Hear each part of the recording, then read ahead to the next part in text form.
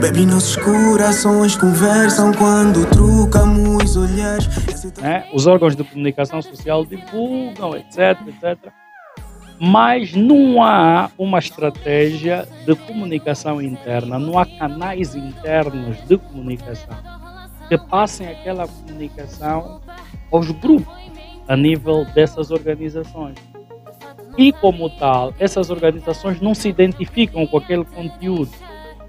Muitas vezes porque até não corresponde é, ao alinhamento que eles têm, a visão que eles têm da organização. Isso atrapalha muitas vezes.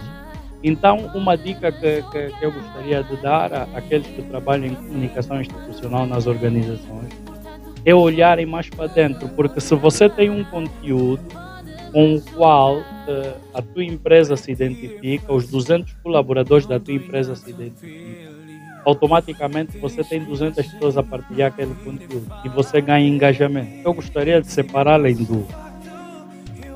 Primeiro, o jornalista como tal, uh, por causa das normas de ética deontológica que tem para cumprir, por força, hoje Angola já tem uma comissão de carteira ética os jornalistas têm uma carteira profissional. Por força desta, deste regulamento de ética, não deve fazer.